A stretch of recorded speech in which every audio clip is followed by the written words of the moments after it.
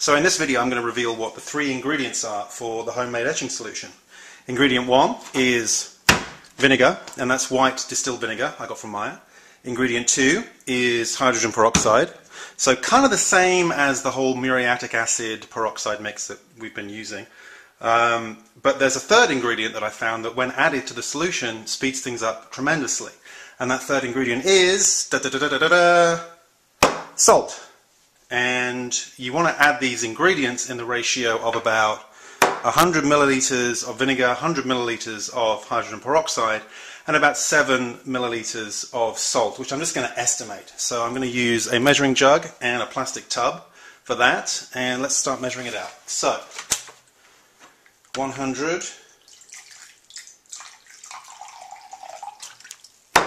of vinegar, about 100, the same, of hydrogen peroxide, and put some salt in the tub.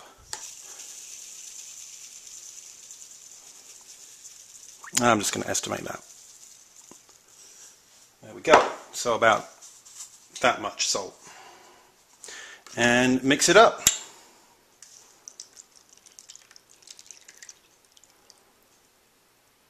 There we go.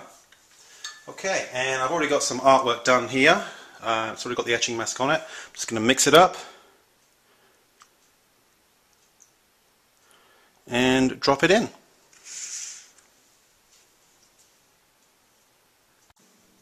So here you can definitely see the uh, kind of dirty coating that it gets and if you just agitate it that will just lift off.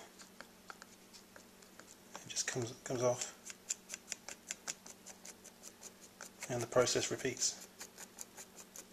Not sure what it is but it definitely works.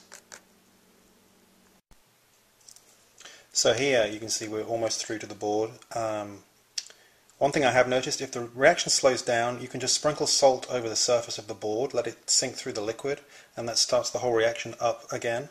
Um, another interesting side effect is that the water or the fluid doesn't turn that blue.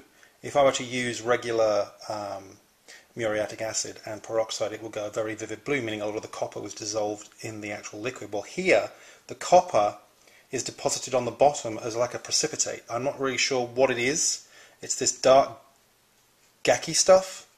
Um, so the liquid doesn't actually contain that much copper.